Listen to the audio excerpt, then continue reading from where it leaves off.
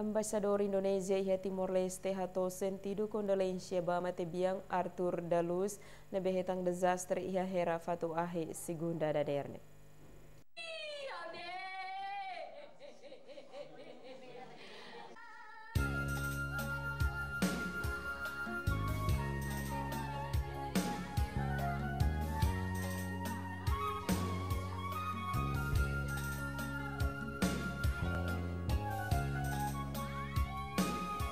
Acidente ne acontece mais ou menos tu corrito da der horas Timor-Leste when hira matebiang honia motor ho número matrícula e hitu sia walu rua sahiu si uma hera atau ba serviço fating ihadili.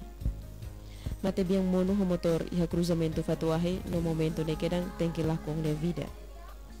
Embaixador Indonesia ba Timor-Leste Sahat Sitorus ba jornalista Sira iha sala mortuari Hospital Nasional Guido Valadares Lori Familia Bot KBRI hato sentido condolencia ba Matebiang ini fiar kata família Sira nebe Matebiang husik hela belesimu hofuam bot realidade nebe iha.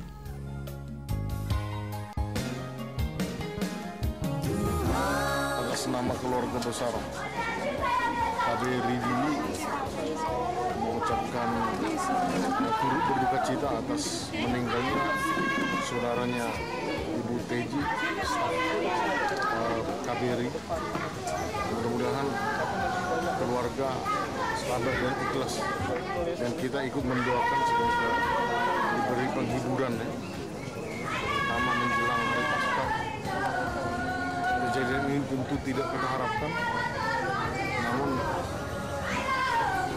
sekali lagi seluruh keluarga besar masyarakat Indonesia dan atas nama KBRI ini mengucapkan turut berduka cita atas meninggalnya saudara dari PJ.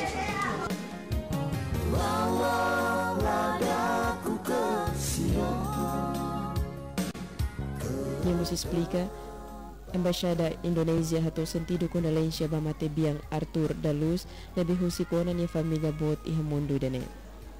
Iha fating hanesang toto nudar maun rasi kusi Matebiang dehan durante ne ni hela honia bahanin sira iha hera akanunu tambane dader santu mai dili atau hak ba servisu mai bieto dalang klarang ni hetang desastre.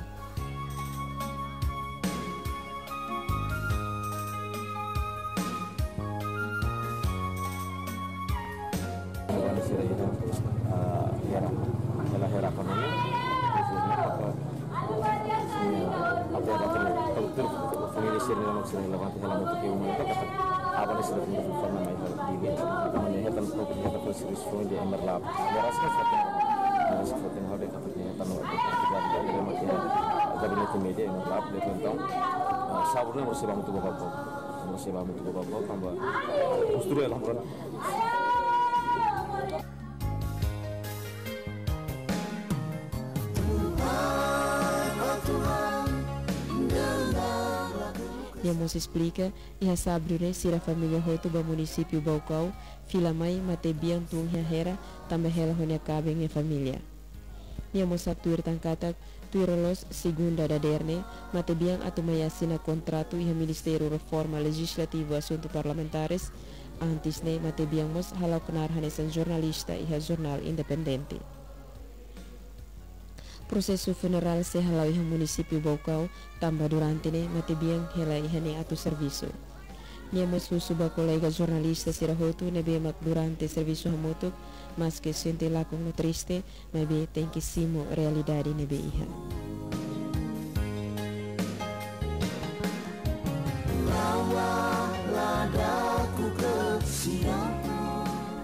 Equipa reportagem STL News.